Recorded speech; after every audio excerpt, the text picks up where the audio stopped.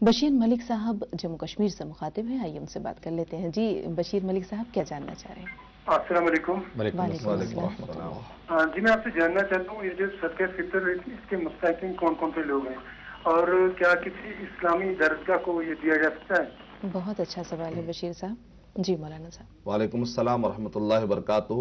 نبی اکرم صلی اللہ علیہ وسلم کا ارشاد مبارک ہے تعمت للمساکین و للصائمین یعنی مطلب یہ ہے کہ ہم جو صدقے پتر دیتے ہیں پتر تو رمضان مبارک میں ایک روزے دار سے جو کچھ بھی کمزوریاں ہو جاتی ہے یا کچھ کمی رہ جاتی ہے، صدقہ پتر سے یہ کمزوریاں اس کا پیچ اپ ہو جاتا ہے۔ اور ساتھ میں مسکینوں کے لیے ہے۔ زکاة کے جو مداد بتائے گئے ہیں، وہ آٹھ بتائے گئے ہیں۔ لیکن جب صدقہ پتر کا آپ نے ذکر کیا نبی اکرم صلی اللہ علیہ وسلم نے، تو کہا کہ مساکین کو دینا چاہیے۔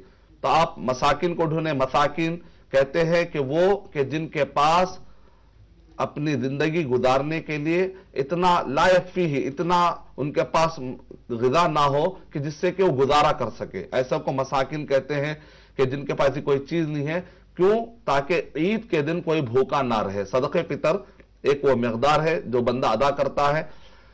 اور یہ صدق پتر جو بندہ ادا کر رہا ہے اس کو ادا کرنے کی وجہ سے آدمی کے گناہ بھی دھل جاتے ہیں اور اس کی تعداد جو بتائی گئی یا اس کی جو شکل بتائی گئی ہے، وہ ہے سام یعنی کہ ڈھائی کلو ڈھائی کلو ہے۔ اور اس سے بھی کم بعض فقہہ نے بتلایا ہے، لیکن اگر آپ کثیر ادا کرتے ہیں تو باقی کی چیزیں اس میں خود بخود آ جاتی ہیں۔ امید کہ آپ کا جام مکمل